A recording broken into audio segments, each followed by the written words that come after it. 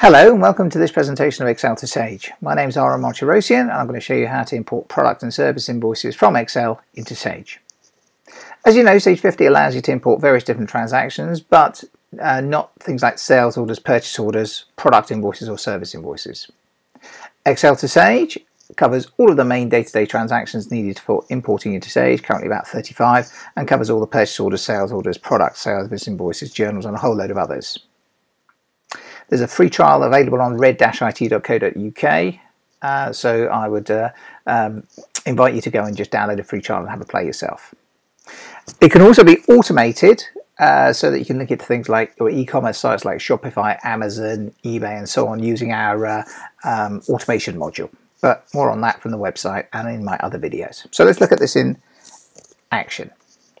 So here's Sage 50 and at the moment I haven't got any transactions in there. But if I go and open up my Excel spreadsheet, I've created 20 service invoices and 10 multi-line product invoices.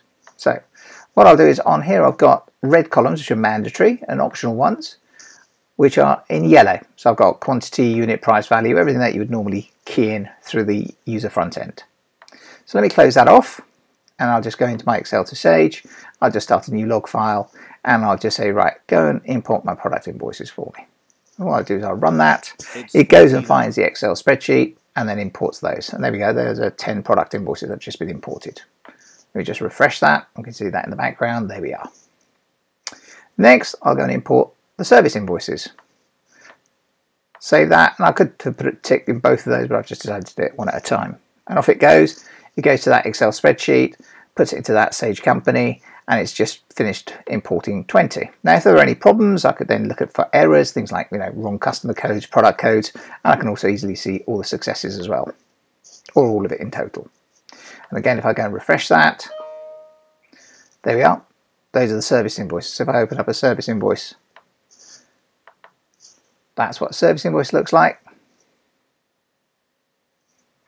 And it fills in things like notes and um, other details as well. And If I go and have a look at product invoice, exactly the same, except I'm putting product codes in, quantities in, prices in. I can also put in comments and special materials as well at the same time. Very easy.